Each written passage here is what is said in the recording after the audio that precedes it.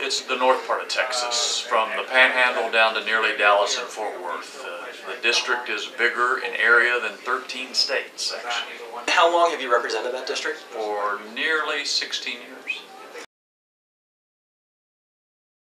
Number one is raising awareness of the problems in Washington, and I think it has been tremendously successful in helping provide an outlet for the frustrations that so many people feel. Um, and, and, and there's story after story about people who don't know what else to do. They go to a Tea Party meeting or rally and end up seeing their doctor, their preacher, their accountant, uh, all sorts of folks who are frustrated and want to make change in, in Washington. So, increasing the energy, increasing the awareness has been very important. Fielding candidates in, in races around the country has been good and positive.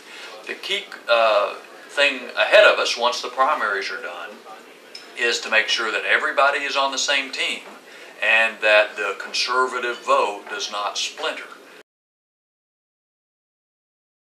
There are a lot more people interested in becoming involved. I'm fortunate in, in my race, but, but my folks want to be involved in other races. Uh, they essentially say, you vote the way we want you to. What can we do to, in, to still, beyond that, to influence the country?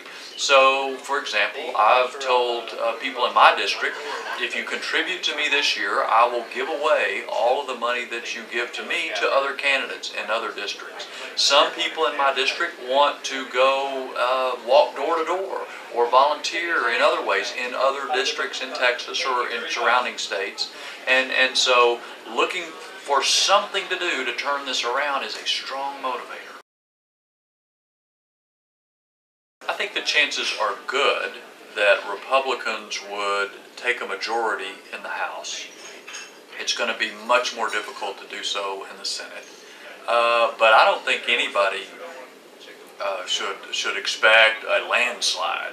It may well be very close in just a few races to determine whether Nancy Pelosi continues as Speaker or whether there's a new Speaker elected. And we've seen a number of elections in the past where just a few votes in a few precincts or districts made a huge difference. And I think the day after the election this November, we may see the same thing.